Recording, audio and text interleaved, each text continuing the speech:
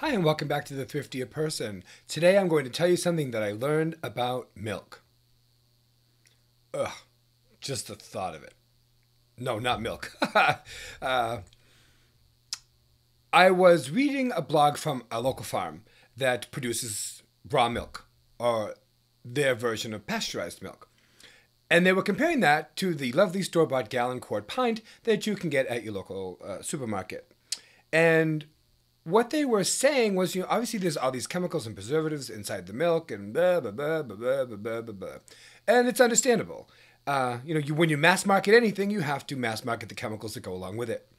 And one of the things that I learned that really kind of freaked me out was, you know, when you have milk, you know, you buy at the store and you leave it in, it's been there a little too long and it starts to get a little chunky, you know, a little chewy there, not so good.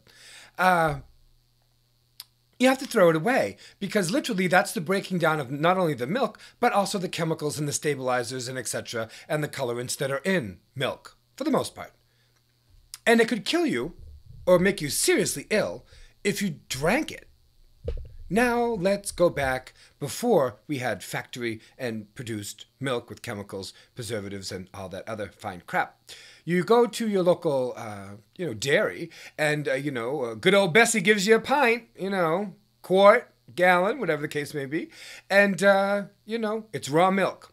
When that milk sits in your refrigerator at the correct temperature as told to you by your farmer, uh, your dairy, uh, the dairy farm, or if you look it up, I think it's about 32, 34, 36 degrees in your fridge. And as that milk starts to turn, that's soured milk. You can use that in baking. You use the stuff that you got at the grocery store that looks like that in your in your baking and you know you'll be at the hospital violently ill from the breaking down of the of the chemicals in the milk that you buy at the store. So, do yourself a favor and help out all of your local dairy farmers.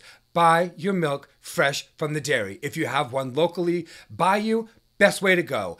Absolutely delicious. It is such a difference in milk that's actually from a cow before processing than it is from the crap in the plastic that sits under those lights with all of those chemicals to make sure it doesn't turn so they can get the longest amount of shelf life and make the most amount of profit before they have to toss that toxic uh, hell stew in the trash barrel behind the store. So that's what you need to know. If you are a dumpster diver, I have no issue with dumpster diving. A good friend, my a good friend of mine, Hollis, taught me the benefits of dumpster diving way back when she was in college. Let's just say there are many moons that have gone around since that time.